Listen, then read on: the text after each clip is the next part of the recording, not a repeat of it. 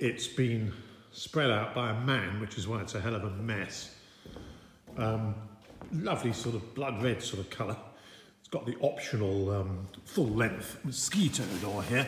One can shut that down at night and keep the mozzies out, but still have good ventilation. Everything in lovely condition. I don't think this has been used much. The canvas is really fresh and clean and everything is really in very good condition. We've got some nice, we've got a couple of vents on the back.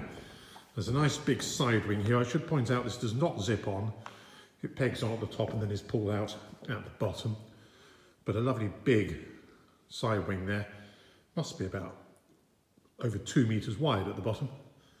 So you could put that out with an angle on it and make a really nice bit of shelter to give you extra outdoor space. Nice set of poles in the later sort of toffee colour, still got their colour stickers on them. Original peg bags, original bag there, original tent bag, everything's sort of correct with this tent. I think it's about a 1999 looking at the label.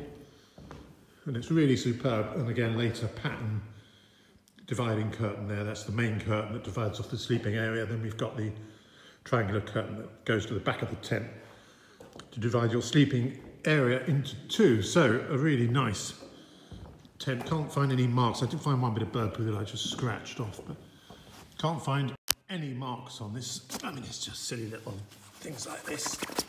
I think it's underneath the skirt at the side. a little something or other. Just wants a little brush. This tent is really, it looks like bed sheets in a good quality hotel. Um, Nothing wrong with this, beautiful tent, lovely for a couple family because it's the full-on De Waard experience, but in a nice manageable package. There we go.